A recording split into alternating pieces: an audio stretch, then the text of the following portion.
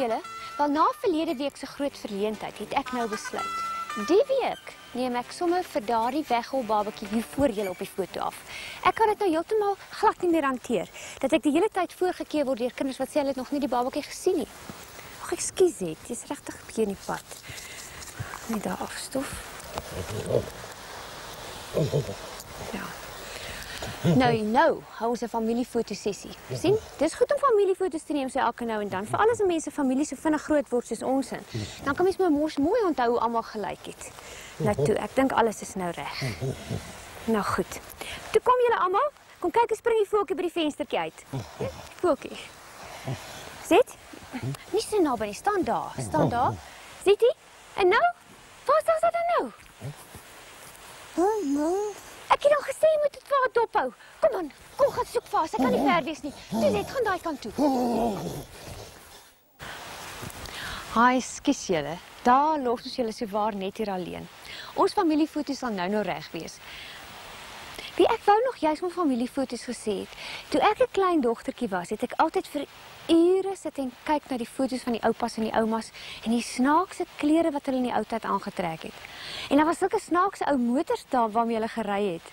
En die kindertjies se hare was ook so snaaks gekam, nê? Nee. Dis nogal lekker om te kyk of mense al van die familietrekke kan raak sien op foto's van mense toe hulle kinders was. Ek wonder altyd of mense eendag oor baie jare na ons foto's gaan kyk en sê, kyk net. Kyk hoe snaaks het ouma Trudy gelyk toe sy nog jonk was. ja. Maar nou in elk geval. Ek wil eintlik omgesels het oor die skrywe van die Bybel. Dis wonderlik dat God vir mense van die begin af laat neerskryf het wat met mense gebeur het, sodat ons dit vandag nog kan lees en dit van hom kan leer. En dit is vir my so interessant dat God dit so in storievorm vir ons gegee het, van die begin af. Dit was altyd lekker interessante stories om te hoor. Die vroeë mense van die Bybel het mos met hulle diere vir veiding rondgetrek in daardie droë dele van die wêreld en baie maal snags rondom kampvure sit en gesels. Dit was seker baie lekker vir die kinders. Die oudste mense het stories vertel van die ou tyd, baie jare tevore, van die voorvaders en alles wat met hulle gebeur het. Dit was eintlik ook die kinders se skool. So het hulle nou geleer van die skepping van die wêreld en hoe om in die wêreld te leef. Hulle het uit die geskiedenis geleer van God en hoe hy ons mense weer gelukkig wil maak. As 'n mens die stories van die voorvaders mooi probeer verstaan, begin jy later self ook met God praat en sy stem in jou hart hoor. God het baie male met mense gepraat. Ja, van die vroegste tyd af het God met ons mense gepraat. En God het mense nog altyd gehelp om mooi te onthou van die ou mense wat nog lank voor ons geleef het. O, oh, daar het wonderlike dinge met hulle gebeur. Vertel ons weer van die reuse, oupa. Asseblief tog, van die reuse wat vroeër geleef het. van die reuse. Maar ek het dan nou die dag. Ag toe, oupa, asseblief, oupa. Van die reuse. Ons weet nou nie of die reuse regtige egtige groot reuse was nie. Of het hulle mos nie gesien nie. Miskien was hulle of miskien was dit maar net wonderlike slim mense. Of miskien was hulle soos reuse vir ander mense omdat hulle gedoen het net wat hulle wil.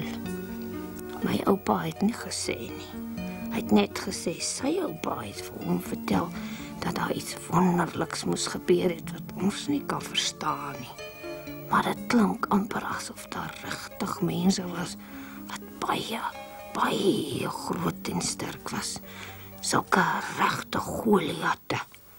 Daar was nog altyd dinge in die Bybel wat ons mense nie kan verstaan nie. Dit werk maar so. Ons kan nie alles van God verstaan nie, want hy is mos heeltemal anders as ons.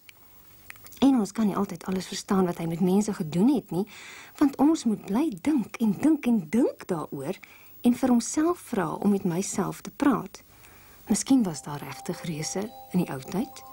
Ons weet nie, maar dit maak ons lekker nuuskierig nie. Ek dink dit sal baie lekker wees om eendag in die hemel uit te vind hoe alles regtig gebeur het. Maar ek dink ook God het die Bybel 'n wonderlike interessante boek gemaak. Kyk net al die heerlikste stories wat ons nou al meer as 6 jaar lank vir ons Z-programme daai uitkry. Lyk vir my God het die Bybel so geskryf dat mens eintlik nie kan ophou lees daarin nie. Die oulikste van alles is dat ons mense oor honderde jare al nog altyd nuwe dinge uit die Bybel leer. Partymal is daar iets nuuts vir my as ek in die kerk sit. Ander kere as ek net so op my eie sit en lees. Maar van die lekkerste kere is as mense so 'n slag weer by 'n lekker jong menskamp kom waar daar so 'n bietjie skattejag in die Bybel rond is. Skattejag in die Bybel? Mm, maar dis mos as mens begin saamgesels oor oulike dinge wat God in die Bybel laat inskryf het. Dinge wat my help om self 'n gelukkige mens te word. En mense kry sulke dinge op die wonderlikste plekke in die Bybel. Ek weet darm nie of die Bybel nie dalk net 'n storieboek is nie, sê Leni vir haar oulike maat Kreer. Kyk nou net die storie van die hemelwesens wat getrou het met die mooi mense dogters en toe reuse vir kinders gehad het. Kreer lag. wat? Waar kry jy sulke goed? O, oh, Genesis, ehm um, Genesis 6, nê. Nee. Sally kyk ondeend na die ander twee. Maar miskien beteken dit God het tog 'n ander plek, nog 'n planeet met mense daarop. Jong, Moenie weer met daai argument begin nie. Dan stry ons weer tot donker toe. Ek dink God hou daarvan as ons wonder en lag en soek en saamgesels oor sy boek wat hy spesiaal vir ons laat skryf het.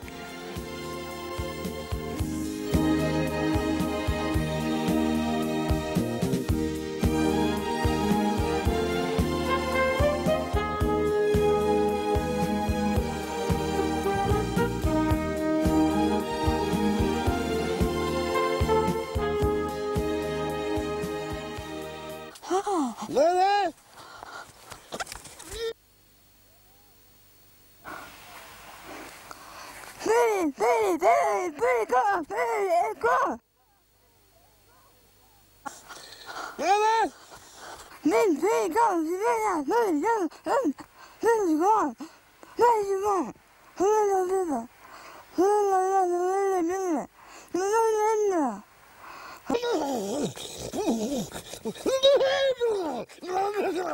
Federico! Federico! Ah!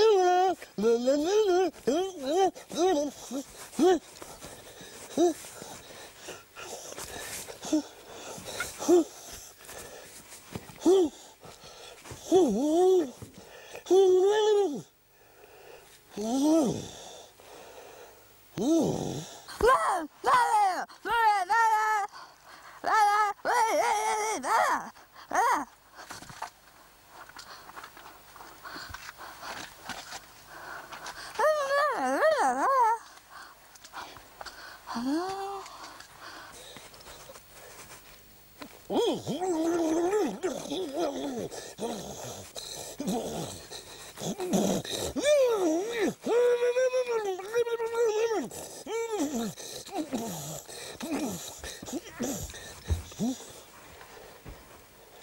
うん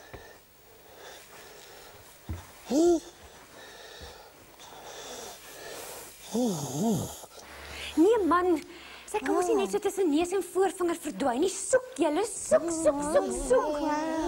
Roep haar Zet man, jy jy weet sy luister altyd vir jou. Zaza! Zaza, hier's jou bottel. Lekker bottel. Njam, njam, njam, njam, njam. Daar sy. Daar sy, daar sy. Kom maar aan die klein Asias. Thank